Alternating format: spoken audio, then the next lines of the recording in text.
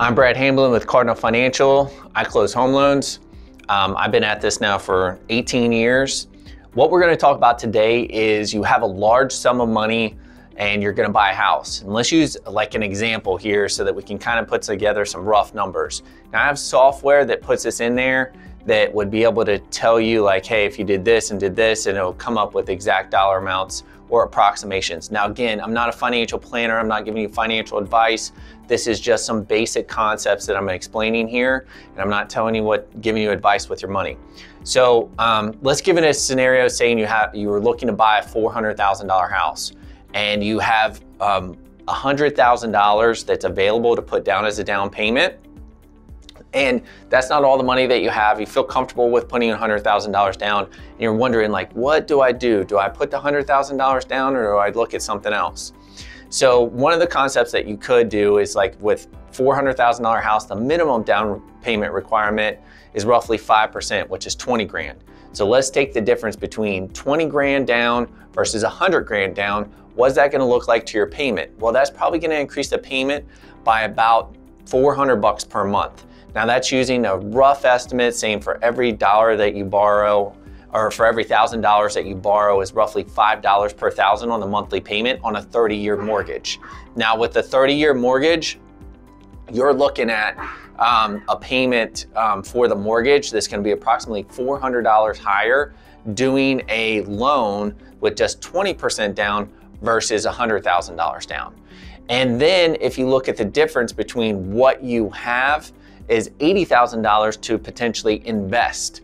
Now, if you invested that $80,000 in a market where let's just say the average return is what the S&P 500's done over the last um, is coming up on 100 years, so it's about 90 years.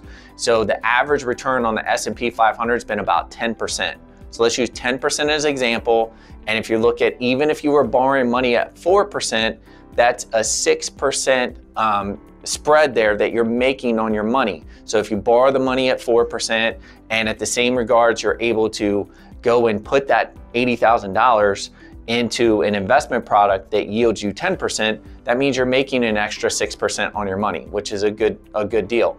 Now, here's the biggest thing that I want to illustrate for you is that if you have a uh, an $80,000 investment that you start on day one of your mortgage, and let's say you, let's make the assumption that you kept the mortgage and you kept the investment going for 30 years.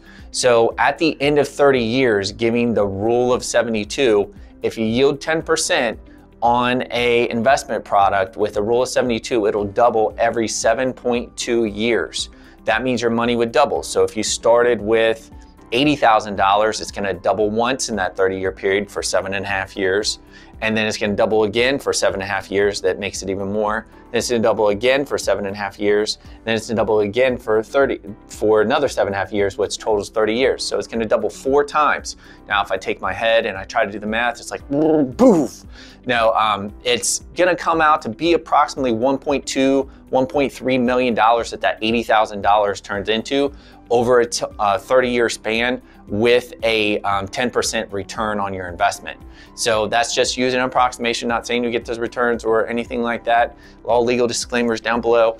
Um, but here's the thing that I wanted to explain to you is that if you have that concept where you take that $80,000 that you were gonna put down on your loan and it costs you $400 more per month on your monthly payment, don't think of it as costing you more than $400 on your monthly payment. Think of it as a way of investing $400 a month to get a substantial return on your investment over a 30 year period. Now, if we did the same thing where we took $400 and started an account and started building it up, it wouldn't get to 1.2 million because it wouldn't have that doubling factor going for it because you didn't start out with 80 grand.